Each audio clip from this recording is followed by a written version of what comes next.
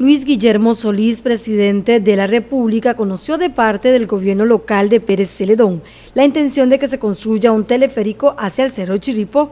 Así lo confirmó en una entrevista con SN Sur Noticias tras su participación en la carrera Campo Traviesa en San Gerardo de Rivas. El miércoles anterior dimos a conocer que el proyecto de un teleférico hacia el Parque Nacional sigue en firme por parte de la Municipalidad de Pérez Celedón y la iniciativa fue declarada como de interés cantonal, de lo cual habló el alcalde Jeffrey Montoya. Tomó un acuerdo en pleno de lo que es eh, eh, pues, declarar de interés cantonal público lo que es el proyecto del teleférico, el acceso a, la cima del Cerro Chirripó, este, y una exhortativa, este, una solicitud expresa vía acuerdo municipal que le vamos a realizar al señor presidente de la República este fin de semana que lo tenemos acá por el cantón. Yo creo que es un paso interesante, ¿verdad? de esa visión que tenemos como, como administración y como nuevo consejo de, de, de ver más este, posibilidades de crecimiento a nuestro cantón. Al respecto, el mandatario indicó que es un tema complejo, que tiene que estudiarse, por lo que están a la espera de la información en detalle del proyecto.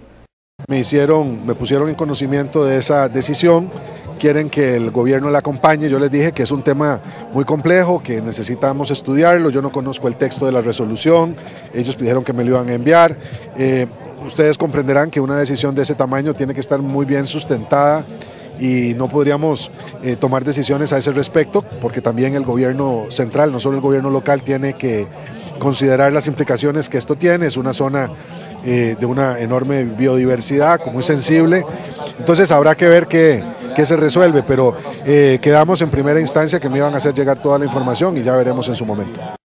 El presidente dijo que es un asunto que se tiene que analizar por el tema ambiental y por lo que implicaría de ahí que no emitirían ningún criterio hasta conocer más a fondo el tema. Las consecuencias son amplias, ¿verdad? El impacto sería muy fuerte, hay consecuencias para la comunidad, eh, en algunas serán positivas, en otras no tanto. Eh, recordemos que esta es una actividad que tiene encadenamientos muy importantes, la subida al Chisripó eh, pues le da de comer a cientos, si no miles de personas en el cantón de Pérez Celedón y en otros lugares.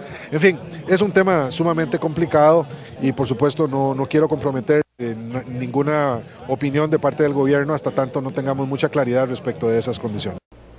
Por otro lado, aprovechó para invitar a quienes lleguen a la presidencia de la República que apoyen la carrera al Cerro Chirripó. A los sucesores míos que pronto llegarán a ocupar el puesto presidencial, les recomiendo que vengan, ¿verdad? Es un, momento muy, muy especial. Eh, así es que cuando estén en la presidencia, y no digo antes porque eh, en, el proceso de, en el proceso electoral que, en el que estamos, pues aparecerse aquí cae mal, ¿verdad? Porque la gente no quiere venir a ver politiquería sino, sino deporte. Pero ya una vez que estén en el poder, definitivamente dense una vueltica por aquí porque es verdaderamente hermoso el contexto en el que estamos, el entorno. ¿Conoce el cerro?